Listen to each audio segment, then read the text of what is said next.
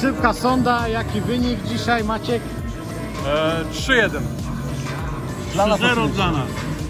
Szybka sonda, jaki wynik? Zwycięski dla Olsztyna 3-2. Nie, 3-0, sorry. I tu jeszcze, i szybka sonda, jaki tu wynik?